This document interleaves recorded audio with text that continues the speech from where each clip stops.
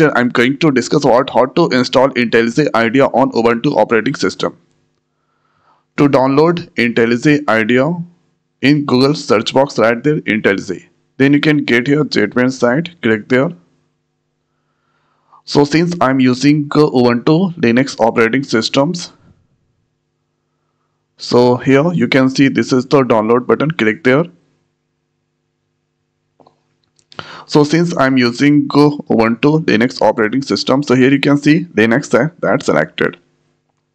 After that you can get two files is there, you can select any one and after click on this download button. The file is now or downloading. The size is 962 MB is the size. Okay, idea that's download completed. Let's click there and uh, this is here IntelliJ IDEA. Right click there. Then you need to extract the file. Click on this extract.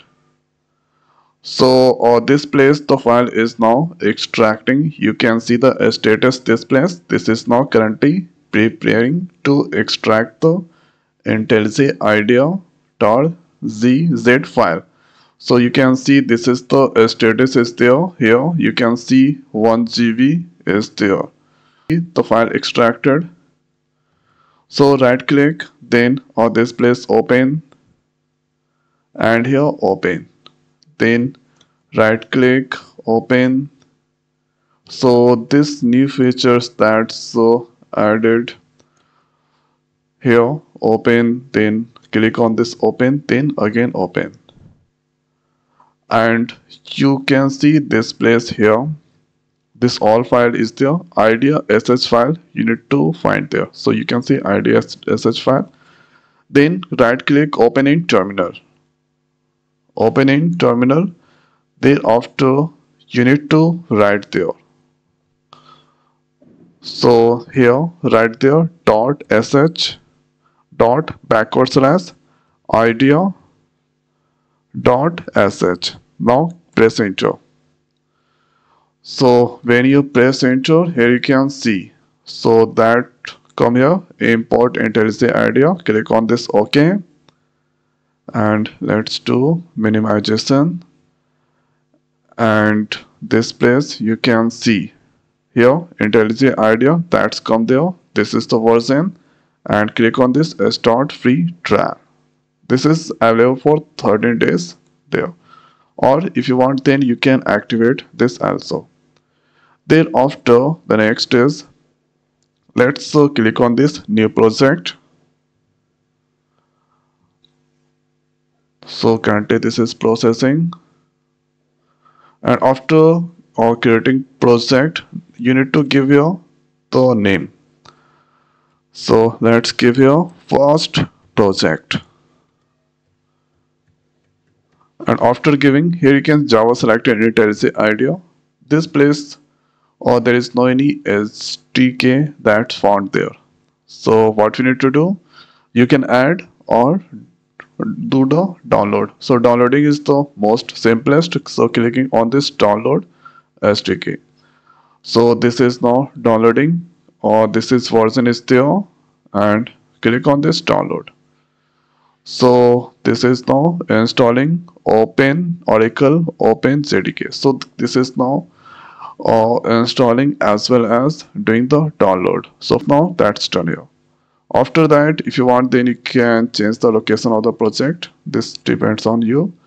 And thereafter click on this create. So click on this create. And uh, here the project is now currently creating. And here you can see first project that's loading there.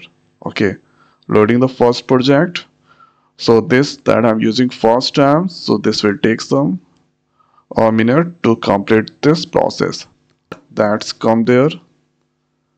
And uh, here you can see this is the default code. And still this is doing some download and install process is going on scanning files to index. And this is now processing so that or this run button is currently disabled. If the process all the steps completed, then this will automatically enable there. after completing this all steps this places uh, you can see uh, this here run button that's so enable and now you can run this code so if I click there uh, then uh, currently this is uh, building the program and you will get the output or this places. And here you can see the output that's displaying the value of i. So this value is now displaying till 5 if you want then you can or uh, this place give your 10 and let's uh, save that. Or right click this place on this uh, console. And you can also click on this run main then if you click there so this is now building the codes and this place you can get here the output till 1 to 10 because here I've given the condition 10 there so now you can see 1 to 10 that's displaying so this is the most uh, simplest way we can do here installation of IntelliJ IDEA on Ubuntu operating system. So I hope guys this video is helpful for you. So now in this video it's over. So thanks for watching. See you next video. Thank you.